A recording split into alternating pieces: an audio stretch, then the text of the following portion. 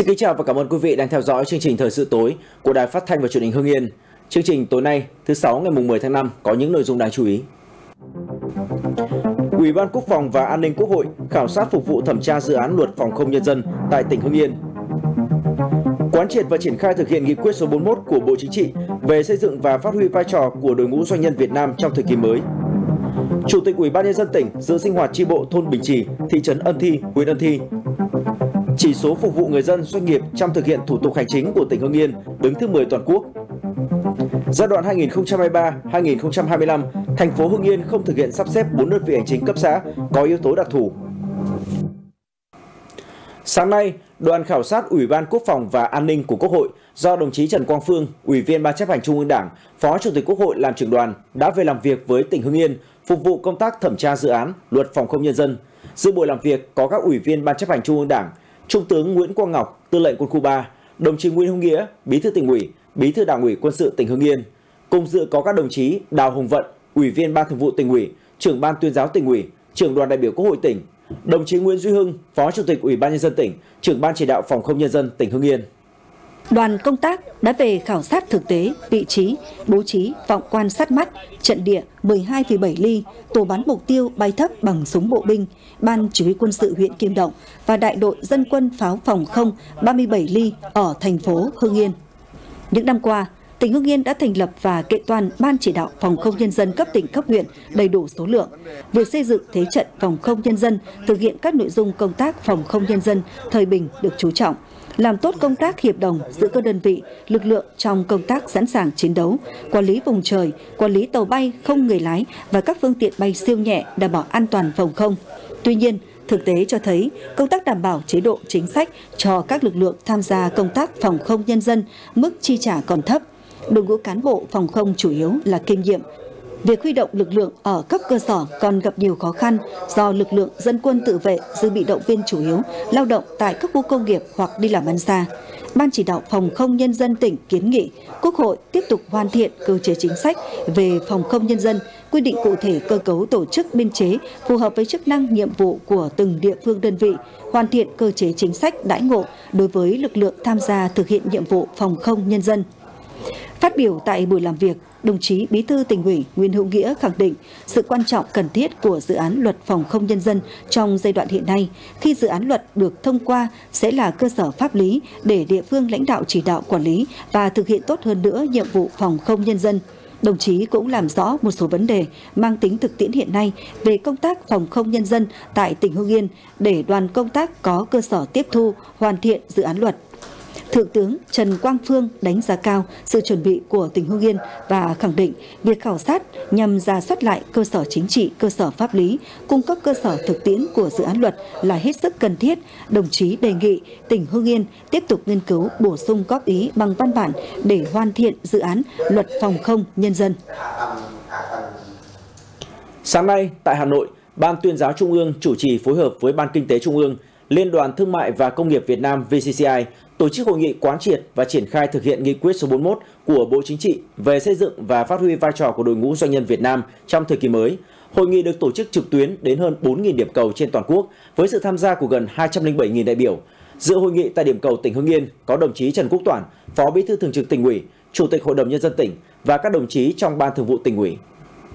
Nghị quyết 41 xác định đội ngũ doanh nhân có vị trí vai trò quan trọng là một trong những lực lượng nòng cốt, góp phần đẩy mạnh sự nghiệp công nghiệp hóa, hiện đại hóa đất nước và hội nhập quốc tế, xây dựng và phát triển nền kinh tế độc lập tự chủ, đảm bảo quốc phòng an ninh. Tại hội nghị, các đại biểu đã nghe báo cáo nội dung chủ yếu của nghị quyết số 41, báo cáo chương trình hành động của chính phủ thực hiện nghị quyết số 41, báo cáo chương trình hành động của Đảng đoàn VCCI thực hiện nghị quyết số 41. Các báo cáo đã truyền đạt những nội dung cơ bản cốt lõi của nghị quyết, quán triệt sâu sắc các quan điểm mục tiêu nhiệm vụ giải pháp chủ yếu mà nghị quyết đã đề ra, xác định nội dung nhiệm vụ cụ thể để tập trung chỉ đạo tổ chức thực hiện thắng lợi nghị quyết.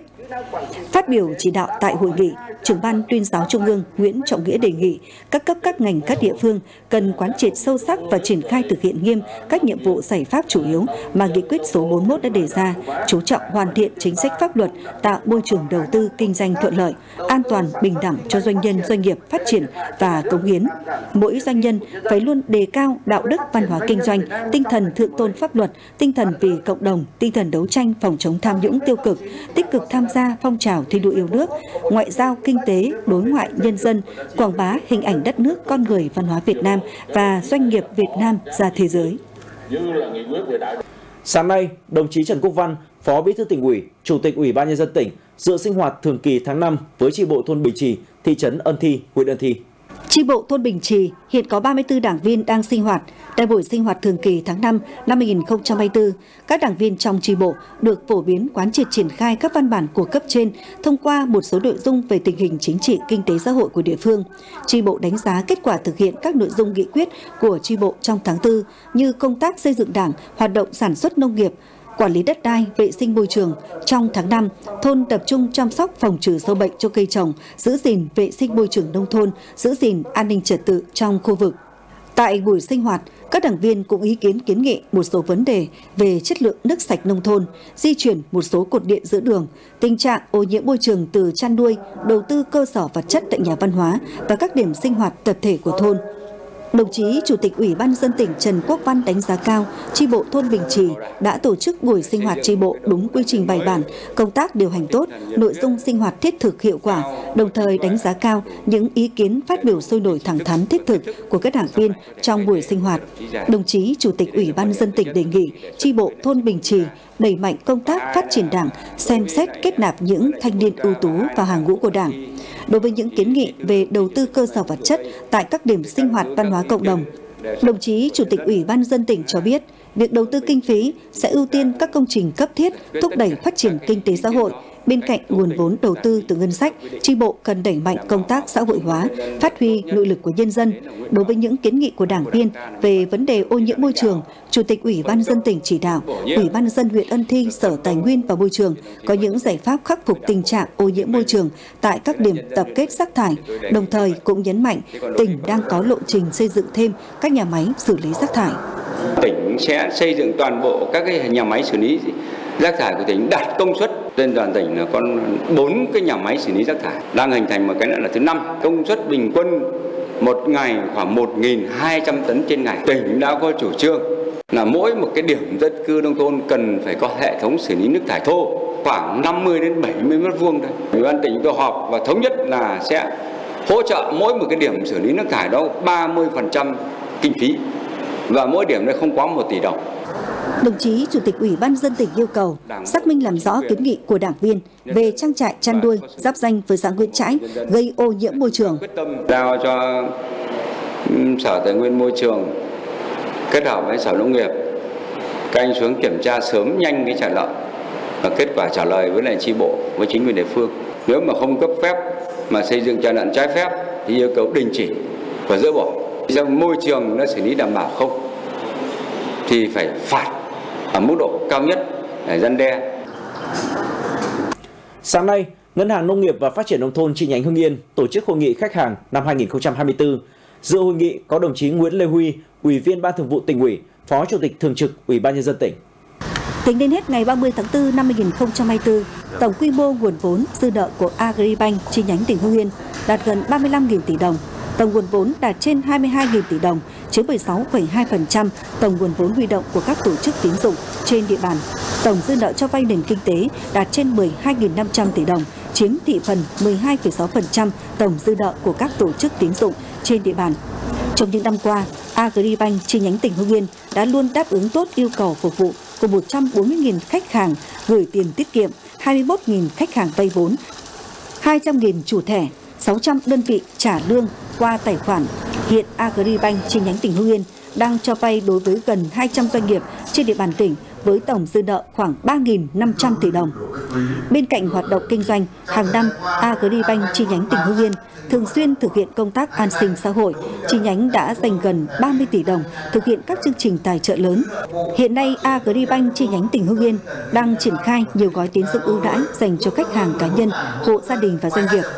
Phát biểu tại hội nghị, Phó Chủ tịch Thường trực Ủy ban dân tỉnh Nguyễn Lê Huy đánh giá cao vai trò của Agribank chi nhánh tỉnh Hưng Yên trong phát triển kinh tế xã hội của tỉnh. Đồng chí đề nghị trong thời gian tới, chi nhánh tiếp tục phát huy kết quả đã đạt được, đẩy mạnh triển khai các chương trình chính sách tín dụng theo chủ trương chỉ đạo của chính phủ, Thủ tướng Chính phủ, chương trình tín dụng đối với lĩnh vực lâm sản, thủy sản với kết hợp với hội đoàn thể ngành địa phương đẩy mạnh cho vay vốn các thành phần kinh tế, tạo điều kiện cho doanh nghiệp và nhân dân tiếp cận với các nguồn vốn ưu đãi cũng như những chính sách hỗ trợ một cách thuận lợi nhất. Sáng nay, Ban chỉ đạo quốc gia về phòng chống thiên tai và tìm kiếm cứu nạn tổ chức hội nghị trực tuyến toàn quốc triển khai công tác năm 2024. Dự tại điểm cầu của tỉnh Hưng Yên có đồng chí Nguyễn Hùng Nam, Phó Chủ tịch Ủy ban nhân dân tỉnh. Năm 2023, ở nước ta xảy ra trên các vùng biển với gần 2.000 trận thiên tai, đặc biệt là mưa lớn gây sạt lở đất, lũ quét, ngập lụt trên diện rộng và là năm bất thường khi số lượng bão áp thấp nhiệt đới ít hơn rất nhiều so với trung bình nhiều năm và không có cơn bão nào đổ bộ vào đất liền. Trên địa bàn tỉnh Hưng Yên, do ảnh hưởng của bão và các đợt mưa sông lốc trong năm 2023 đã gây thiệt hại về sản xuất nông nghiệp và công trình đê điều, điển hình như sạt trượt máy đê ở huyện Văn Giang, sụt lún và sạt lở kè Đồng Thiện ở huyện Tiên Lữ, sạt lở một phần hạ lưu tuyến kè Nguyên Hòa ở huyện Phù Cử. Với sự chỉ đạo quyết liệt từ sớm từ xa của Trung ương và đặc biệt là sự chủ động của các địa phương và người dân, công tác phòng chống thiên tai, tìm kiếm cứu nạn năm 2023 và các tháng đầu năm 2024 đã đạt được những kết quả toàn diện, góp phần giảm thiểu thiệt hại. Để chủ động ứng phó với mọi tình huống thiên tai xảy ra nhằm hạn chế đến mức tối đa thiệt hại do thiên tai gây ra, các địa phương cần huy động mọi nguồn lực và cả hệ thống chính trị để triển khai có hiệu quả các biện pháp cơ bản nhằm giảm nhẹ thiệt hại do thiên tai gây ra và thích ứng với biến đổi khí hậu đối với sản xuất và đời sống, xây dựng các kế hoạch phương án để chủ động phòng chống thiên tai và tìm kiếm cứu nạn, tăng cường năng lực nhằm chủ động ứng phó kịp thời và có hiệu quả trước mọi tình huống, tạo điều kiện để phát triển kinh tế, xã hội bền vững.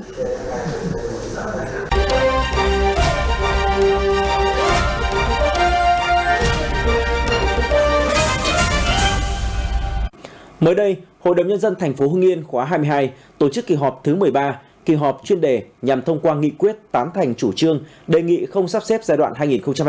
2023-2025 đối với đơn vị hành chính cấp xã có yếu tố đặc thù. Thực hiện sắp xếp đơn vị hành chính cấp huyện cấp xã giai đoạn 2023-2030 thành phố Hưng Yên có 4 đơn vị hành chính cấp xã gồm phường Hồng Châu và các xã Hùng Cường, Bảo Khê, Hoàng Hanh thuộc diện sắp xếp trong giai đoạn 2023-2025 nhưng có yếu tố đặc thù nên đề nghị không thực hiện sắp xếp. Cụ thể, đối với phường Hồng Châu là đơn vị hành chính đô thị có di sản văn hóa vật thể được xếp hạng là di tích quốc gia đặc biệt đối với ba xã Hùng Cường, Bảo Khê và Hoàng Hanh đều cơ bản đảm bảo một trong các yếu tố đặc thù theo quy định tại khoản 1 điều 3 Nghị quyết số 35 ngày 12 tháng 7 năm 2023 của Ủy ban Thường vụ Quốc hội. Tại kỳ họp, xét thấy việc đề nghị không sắp xếp đơn vị hành chính cấp xã có yếu tố đặc thù là thực sự cần thiết, đảm bảo phù hợp với các yếu tố đặc thù về truyền thống, lịch sử, văn hóa, tập quán, vị trí địa lý và điều kiện tự nhiên giữa các đơn vị hành chính có liên quan. 100% đại biểu dự họp đã nhất trí biểu quyết thông qua nghị quyết tán thành chủ trương đề nghị không sắp xếp giai đoạn 2023-2025 đối với đơn vị hành chính cấp xã có yếu tố đặc thù. Thưa quý vị, hiệu quả mang lại sau một thời gian thực hiện sắp nhập trường tiểu học và trung học cơ sở là khá thiết thực, góp phần thu gọn bộ máy lãnh đạo quản lý, giảm đầu mối, ghi nhận tại thị xã Mỹ Hào. Sau khi sát nhập, Trường tiểu học và trung học cơ sở xã Dương Quang có 37 lớp với trên 1.600 học sinh, 56 cán bộ giáo viên. Do hai trường nằm cạnh nhau nên sau khi phá bỏ bức tường ngăn, khuôn viên tổng thể càng thêm khang trang, rộng rãi. Một trong hai khu nhà hiệu bộ đã được sửa chữa thành phòng học và các phòng chức năng. Các phòng học đặc thù như tiếng Anh, tin học được điều tiết khai thác hiệu quả hơn. Tương tự như vậy, trường tiểu học và trung học cơ sở phường Bạch Sam sau khi sát nhập đã nhanh chóng ổn định tổ chức và dưới sự chỉ đạo điều hành của một ban giám hiệu, không chỉ tận dụng phát huy tối đa hiệu quả về cơ sở vật chất mà còn tạo ra khối đoàn kết, giáo viên được trao đổi học hỏi, bổ trợ lẫn nhau. Học sinh được giao lưu với các hoạt động tập thể, tạo niềm hứng khởi mỗi khi đến trường với nhà trường, cũng như không còn phải tuyển sinh, chuyển cấp như trước khắc phục được tình trạng thiếu đội ngũ giáo viên ở một số cái bộ môn chung sử dụng một số cái phòng học hoặc là phòng làm việc. Sử dụng vào phòng chức năng về cái nhận thức của giáo viên trong các cái hoạt động chuyên môn sẽ được à, nâng lên. Các cái hoạt động à, chung của các em trong học sinh nhà trường phong phú hơn các em được học hỏi nhiều hơn. Đến nay, thị xã Minh Hào đã thực hiện sát nhập 16 trường, hai cấp tiểu học và trung học cơ sở về còn 8 trường, trong đó đầu năm 2024 tiến hành sát nhập 12 trường thành 6 trường. Theo đánh giá ban đầu, công tác sát nhập đều diễn ra nhanh gọn và nhận được sự đồng thuận cao và quan trọng hơn là chất lượng đều được nâng lên, như là sự đoàn kết, sự thân thiện và niềm hứng khởi của học sinh. Bên cạnh đó, còn tạo thuận lợi cho công tác lãnh đạo quản lý chung. Ờ, rất thuận lợi cho việc chỉ đạo hoạt động chuyên môn xuyên suốt từ ờ, cấp tiểu học lên cấp trung học cơ sở. Đặc biệt đó là cái khâu đảm bảo chất lượng cho việc ờ, chuyển cấp từ lớp 5 tiểu học lên lớp 6 trung học cơ sở và đây cũng là một trong những cái điều kiện thuận lợi để các nhà trường có cái đánh giá nhìn nhận xuyên suốt để có điều chỉnh kịp thời trong quá trình tổ chức dạy và học sau này. Thực tế trên cho thấy sắp nhập trường không chỉ giảm sự công kênh về tổ chức, tận dụng tối đa được cơ sở vật chất trang thiết bị nhân lực, mà còn tạo ra môi trường dạy và học thân thiện tích cực, tạo điều kiện để giáo viên phát huy năng lực trí tuệ, góp phần nâng cao chất lượng giáo dục. Văn phòng Ủy ban nhân dân tỉnh vừa công bố kết quả đánh giá bộ chỉ số phục vụ người dân doanh nghiệp trong thực hiện thủ tục hành chính, cung cấp dịch vụ công tháng 4 năm 2024 của tỉnh. Theo đó, tổng hợp các nhóm chỉ số của tỉnh Hưng Yên đạt 80,41 điểm, xếp hạng thứ 10 trên 63 tỉnh thành phố trực thuộc trung ương. Trong đó, các chỉ số đạt cao hơn so với trung bình cả nước là chỉ số tiến bộ giải quyết 19,6 trên 20 điểm, trung bình cả nước là 17,4 điểm, đạt tỷ lệ 98,3%,